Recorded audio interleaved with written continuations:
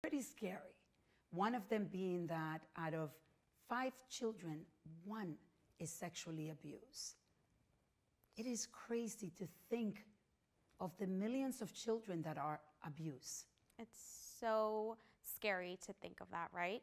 And did you know that 1,000 million children in the last year between the ages of 2 and 17 suffered from sexual, emotional, verbal abuse?